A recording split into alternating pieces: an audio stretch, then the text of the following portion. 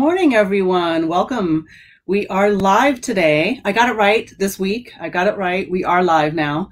Um, so if you are here, drop a note in the chat. Say hello. I'm so used to seeing uh, people telling me that they're here from, um, let's see, but I just got a message that popped up that says that it looks like they're having trouble broadcasting to LinkedIn. So I'm hoping that we're all good here. Okay. if you're on LinkedIn, that you are here. But we're recording regardless. So if you missed it, we'll make sure to post it and you'll be able to connect with us. It'll all be good. Um, so looking forward to chatting with Erica today because we have a great conversation. I've actually known Erica, I don't know how long. I was trying to remember this morning how long it's been, and I couldn't, so I gave up. well, good morning. Thank you for having me. I'm excited to be here, and it's always great to see you. I can't remember where we met. Many years ago, more than 10. Is it more than 10? Okay, it might be. I don't remember where though. How did we? I don't remember. I think I feel like Lisa Gates had something to do with it, with like the outstanding mothers. That's right. That's right. I had the professional networking group for working mothers, and Lisa Gates from She Negotiates. She introduced us, and okay. then you were on. Um, I think you were on a panel for us, actually. Yes. Yeah. yeah. And so, trials and tribulations of motherhood. Right, exactly. Yeah. And and nothing much has changed really. The trials and tribulations of motherhood while trying to work during COVID. Um right. and so right? Exactly. But this just goes to show we talk about the networking, right? And how important networking is to your job because I've known Erica for forever and we've probably gone, I don't know, a year or two without talking to each other. and then I'll pop up and go, Erica, I need your help with this. Or, hey, I have this client referral for you. And it's like we talked last week, you know, nothing changed. So I do want to formally allow Erica to introduce herself because she's the principal of Round Hill Search, which is a legal staffing and searching firm in Los Angeles. Um, and so, uh, Erica, introduce yourself to yes. Good morning, everybody. So, um, as Stacey said, my name is Erica Moore Burton. Um, I'm the founder of Round Hill Search. We're a legal staffing and placement agency here in Los Angeles. I'm actually in my office today. Um, what we do is we place um, primarily attorneys, um, but we also work with uh, legal support as well, paralegals and support staff in placing them in law firms, um, AmLaw 100 law firms, all the way down to boutique uh, law firms. And uh, we work with corporate legal departments in placing those legal professionals as well and helping those corporate legal departments reduce their outside counsel fees by using contract attorneys as well. So we assemble teams of contract attorneys as well. Um, so there you have it. That I've been in the industry for over uh, 16 years now, so um, a long time. And you know, things have things have uh, changed over the years, and and I'm seeing definitely the um, uh, the, the, highs and lows of of uh, the industry in a myriad right. ways. Put it that way. Yes, no, for sure. And I think we connected. Good morning, Selena. I see you. Um, we connected because, you know, as you all know, I used to recruit, and so I worked with with Erica. I would try to refer her clients, or she would try to refer me clients because, as she said, she was was dealing mainly in the legal services arena. Um, and way back in the day, I actually used to be a paralegal, and um, if I knew that. Okay. You'll say that's another conversation for another live. Like I should do a live on the many jobs that Stacey has held. Right. That would be really funny. You guys would like that. Um, I think that this conversation today, we want to just talk a little bit about the fact that, you know, here we are in an environment in the middle of COVID where people are looking for work and um, we've seen, you know, some law firms have done uh, a reduction in pay in order to not have to lay off. Uh, we're seeing where people are struggling to hire right now because they're having to do it remotely. They're having to onboard remotely. Um, you know, you're in your office today, but we're, we're kind of like, are we in phase two? Are we in phase three? Did we get pushed back to phase one? Where are we? We don't know. Um, and so I think that we wanted to just talk a little bit about what it's like to um, you know and, and, what the opportunities are i think it's specifically in the legal field but just in you know the environment in general right now for for hiring? Mm-hmm.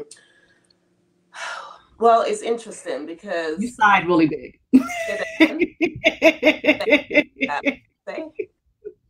Which is like, yeah, that means it's gonna be this is gonna be a tough one. yeah, no, no, no, no, it is. And look, the different look, I've been through a recession in 2008, so sort of it was different circumstances, you know, but a recession nonetheless. And the difference that I am seeing this time is that last time there were just mass layoffs, right? It was um, it, at all different levels. There were there were so many layoffs. People were outright laid off, and it was very difficult to get work back then. This time, I'm noticing that firms are making uh, more of an effort to hold on to talent, but they are making those uh, reductions in pay so that you know obviously they're looking at the bottom line but making a reduction is better than being laid off outright right? So so that's sort of a difference that i am seeing. Um, hiring has definitely slowed. I've seen it with my clients. I think we had so many um, roles in the pipeline at the beginning of march and every single one of them bar one or two came to sort of a grinding halt. It was kind of like okay we ju- we're just in this wait and see mode um, you know there have there have been layoffs of course and and i think it's um it's it's tough out there, and people had to get. First of all, it was the shock, right, of what was going on. So there was the there was the shock, and now it's sort of like okay, we're settling into this. I can't even say it's the new normal because I still don't think it is the new normal, but we're settling into this um, this phase of okay, how are we going to move forward with our hiring needs as and when they do come up. So so I have clients that are now trickling back, and now they're kind of like okay, so we have to do the remote onboarding with the questions that are being asked are very different. You know, what's their home setup? You know, do they have a computer? Do they have a printer? Do they have a scanner? What's all you know? Because there's there are, there are more things to think about now when it when it comes to hiring. Um, you know, is it is it back to where it was? Absolutely not. You know, and I think I think we're on the slow road back. Put it that way. Right. Um, but on the road nevertheless put it that way right. so so that's i'm being optimistic there and, and hopeful that that we're on the road to somewhere. Yeah. And I think, you know, you do a really great job. Like, you know, you're a legal staffing and search firm. You don't say you're a diversity search firm, right? But you ensure that your candidates are you diverse. How do you do that? Well, um, Exhibit A, right? so um, I think for me, when I decided to start Round Hill Search, that was going to be a, a, really important facet of the company that I wanted to sort of carve out. I wanted to be an advocate for diverse candidates. Um, so, by virtue of our searches, um, when I'm looking for candidates, I'm I'm I'm looking for all candidates, but I am looking for diverse candidates, and I'm I, I strongly advocate for um, diverse candidates. I recently had um, um, a couple of candidates actually that that were um, Nigerian Nigerian candidates, and their backgrounds weren't you know traditional. They'd been to uh, they'd worked at law firms in Nigeria with, without much U.S. experience.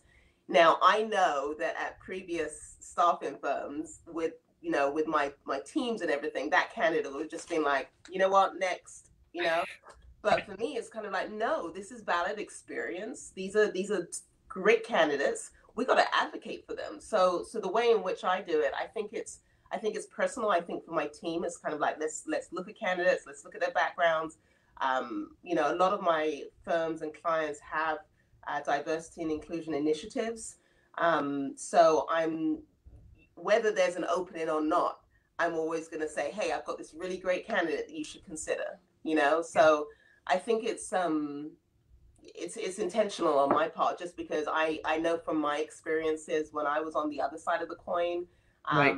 and and just knowing how difficult it is you know because we're often held to a higher standard right we're right. often held to you know um, you know ha- let's look at the educational background you know minority lawyers are often held to uh, a higher standard in terms of the schools that they went to right. um, did they graduate? Uh, you know, cum laude. You know, what are what are the extra credentials that they have to make right. them worthy candidates? Which isn't right, obviously, but right. I think that uh, you know people need strong advocates, and and by virtue of who I am, my background, and what I've seen out there, I, I just am that person.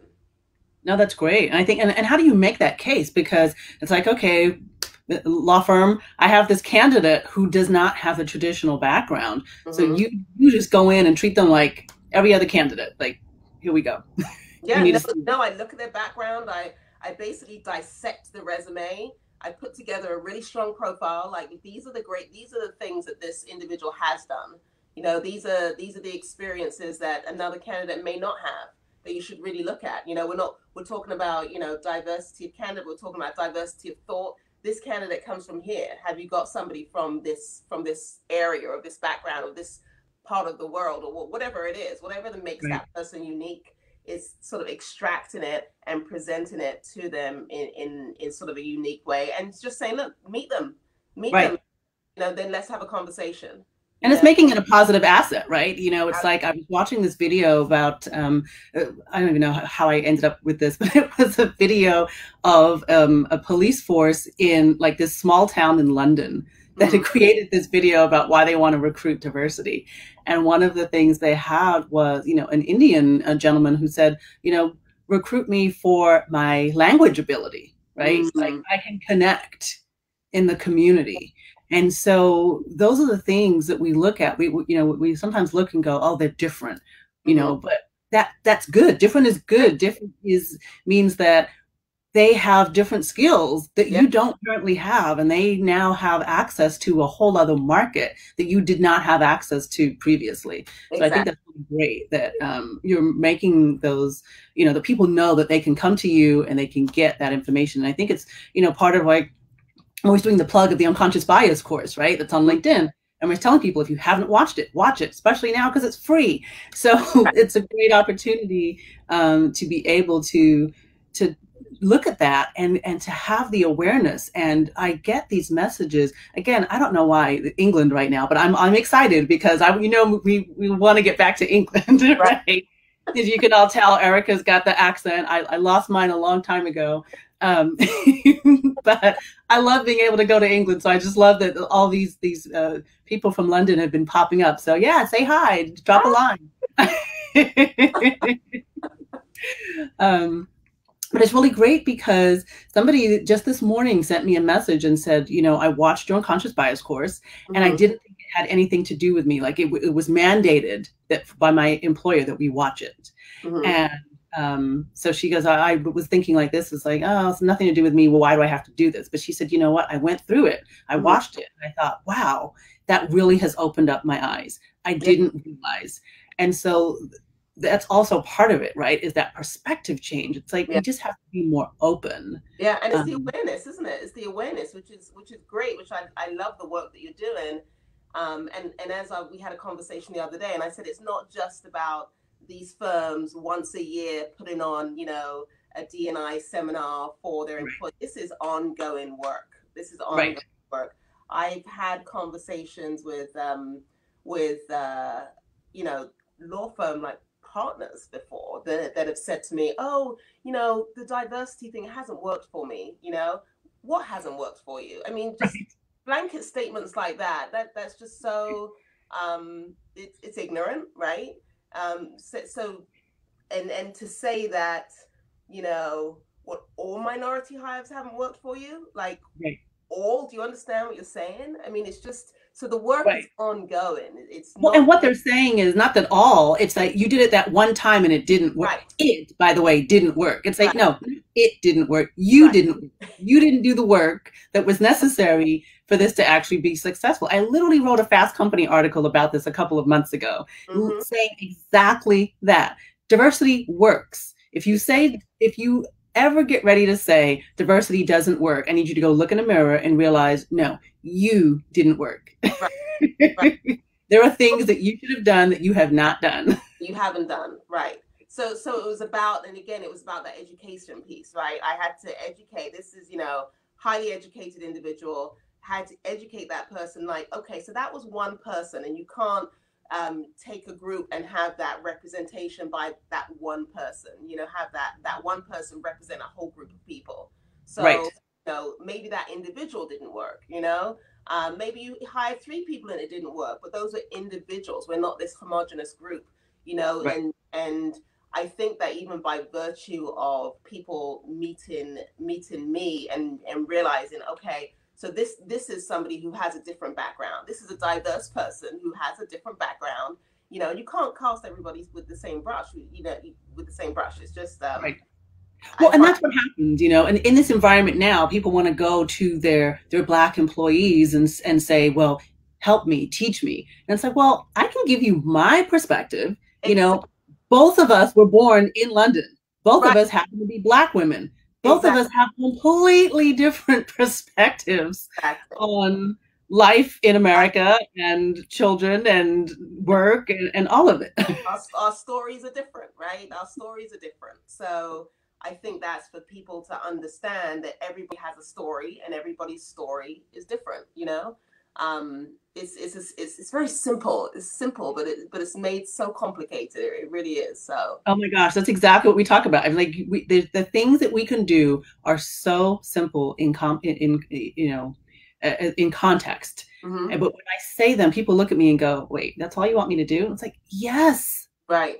Obviously, this does not have to be difficult. So I, I really think, um, you know, it, it's great because in the position that you're in, not only you know are you advocating for others but you're role modeling right? Like people right. can see you walk in the door and i'm sure especially with your accent sometimes people don't even realize that you're black right? Like talk to you over the phone.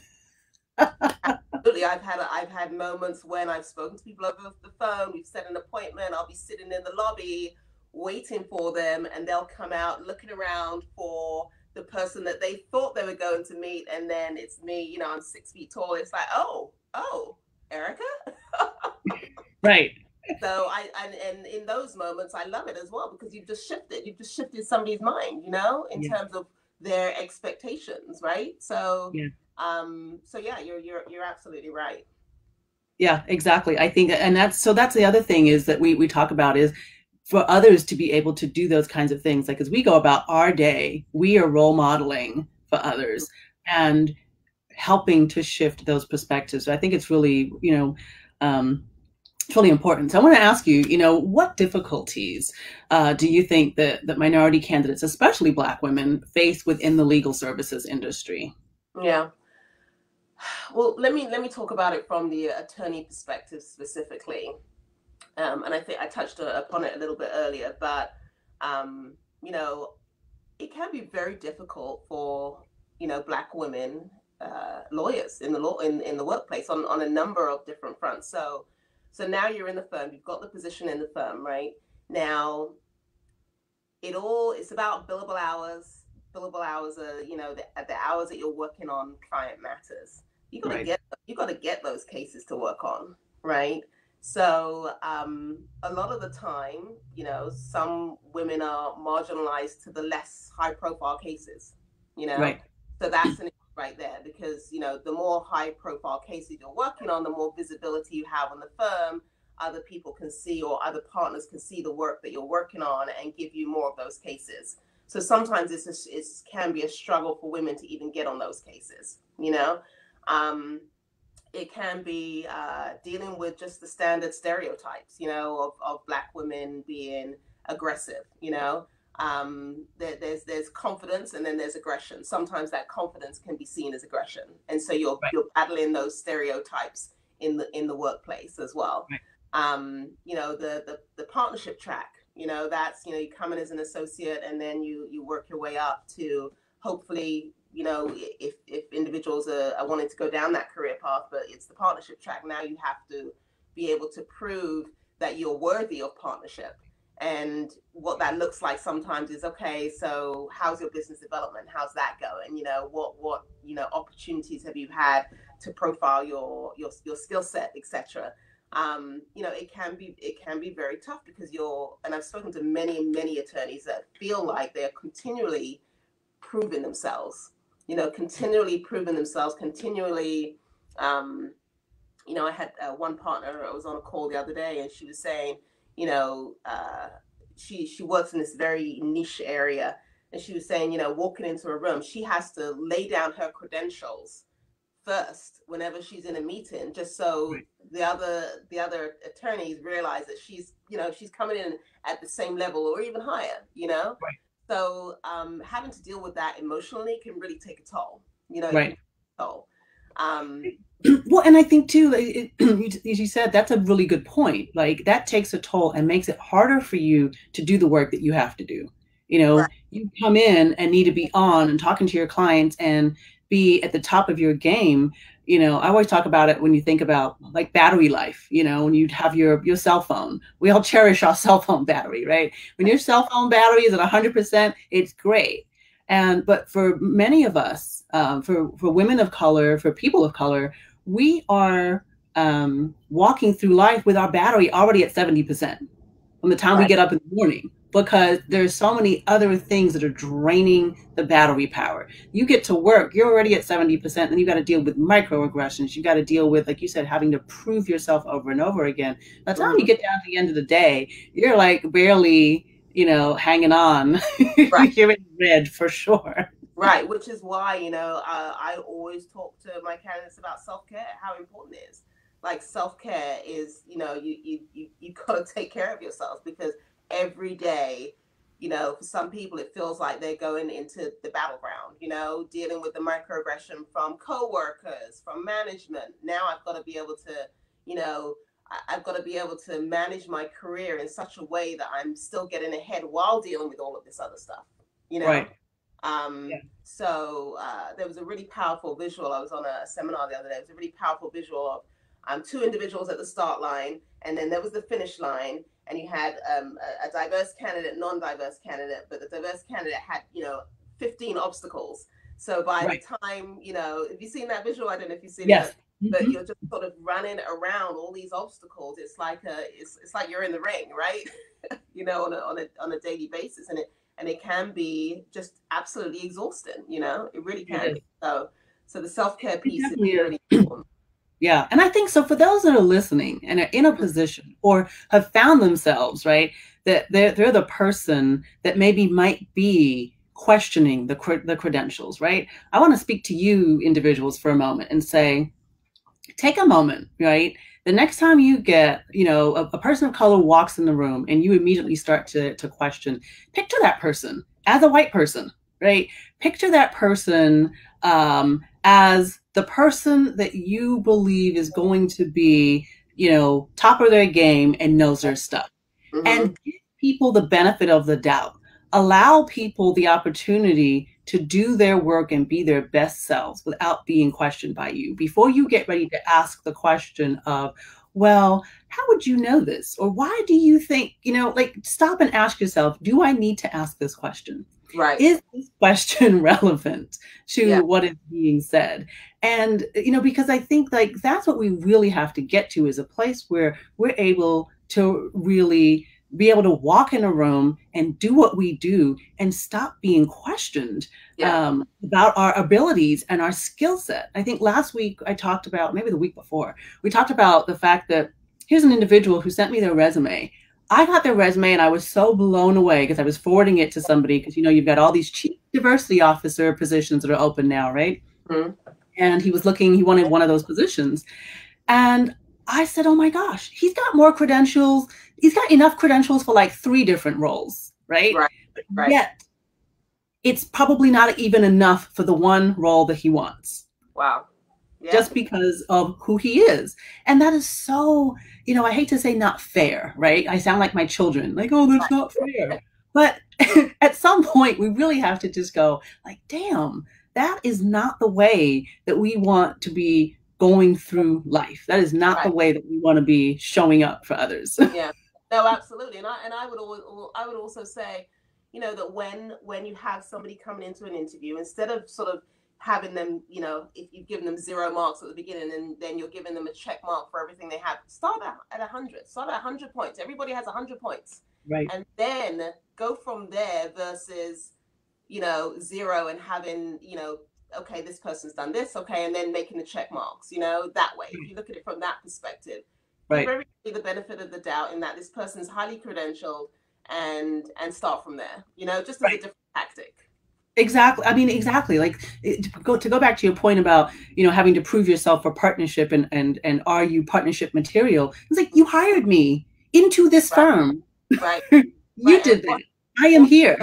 Prepare me for partnership. What have you done to prepare me for partnership? How have you positioned me to prepare for partnership? You know.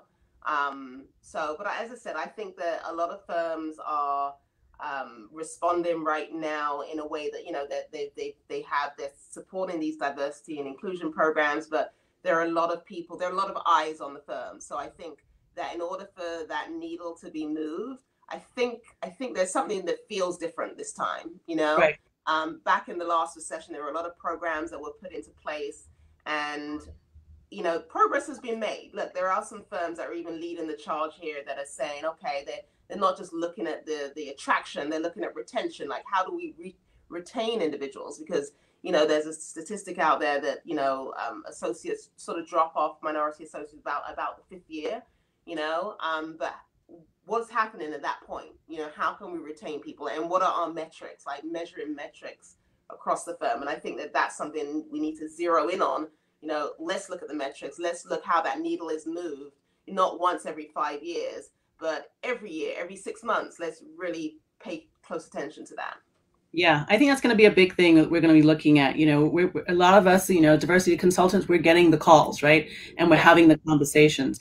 And I think what's really important is to ask the question in six months from now, a year from now, when people are looking at what was mm-hmm. done, what are you going to be able to say that you did? Exactly. Right? And I think that is extremely important. Um, you know, we have a course out there. Um, I know that a lot of recruiters have been getting laid off right now, and the things are mm-hmm. kind of trickling. But we do have a course. It's inclusive recruiting, and it basically goes through unconscious bias, um, gender issues, and LGBTQIA. Uh, concerns and it kind of helps with language with concepts and it goes a, really a deep dive into uh, you know providing recruiters with that information and so I'm going to drop a link for that course um, and a 10% off code for those who do have the budget still and are interested. It's not much at all. It's only like $250, I think. Um, but it's a great course that people have been going through that helps them to get comfortable with some of the concepts, right? To get comfortable with some of the language, because I realize there are people who, you know, it's not just like we, we we're in a bubble in Los Angeles, right? We mm-hmm. we get to see a lot of diversity, but there are people in Kentucky, there are people in Kansas, there are people in Montana, right, mm-hmm. who are in their own bubble and they don't have a lot of diversity and they're struggling and they would like to change and they're trying to figure out how. And so I think that um, you know being able to provide um, that information to people and helping them with those concepts I think that's really uh, important to be able to do that. That's so, very that's great that you have that that course available. So um, anybody in those areas, yeah. Yeah, I'm just dropping it in now. Yep, there it is. It's important to to educate yourself as well, and that's what it's about. It's education, and at the root of this. Um, you know the root of it is fear really it's fear of it's fear of something different but we're, we're all different so look at it from that perspective you know and and and help these companies and you know let's le- level the playing ground you know yeah definitely. Well you know i think that a lot of work is being done uh, in the legal legal field to make it a more safer and more welcoming place. And i think erica you are doing a great job of, of doing that and spearheading it. And so if you have a, a, position open and you need assistance in the legal community, Erica is definitely your gal. She will help you find you not only the, you know great candidates but diverse candidates as well. And uh, so excited to um, really have maintained this this friendship and this relationship for so many years, and excited that you were able to participate today with me. So again, Erica, Round Hill Search. Thank you very much. Great, great seeing you and being on with you today. Yes, thank you, thank you. And you can find me at reworkwork.com. So uh, feel free to reach out to us. And of course, we're always uh, accepting LinkedIn requests. So you can connect with either one of us on LinkedIn as well. And we'll be back again next week, 8 a.m. Pacific. All thank right. You. Bye. Thank you.